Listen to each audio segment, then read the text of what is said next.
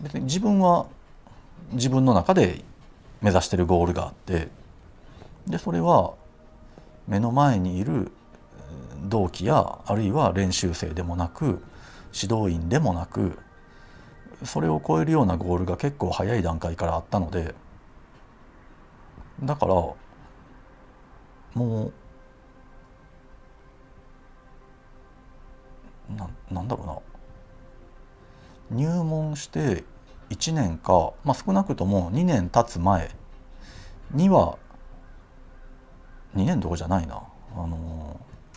1年ちょっと過ぎた頃には坂本さんもそろそろ次の審査で黒帯だねって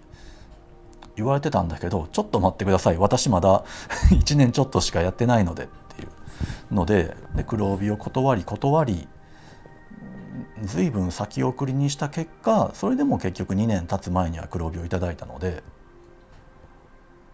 で黒帯もらうと同時にじゃあ坂本さんももう黒帯だからあの指導側に回ってもらってとか言って、まあ、多分向こうとしてはあの子供の面倒を見てくれる大人が 欲しかったんだと思うけど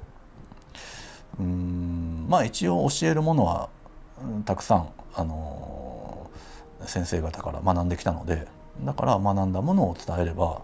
あのちゃんと教室は成り立つんだけどで実際それで全国大会で活躍する選手も随分育てたし、えー、でだけど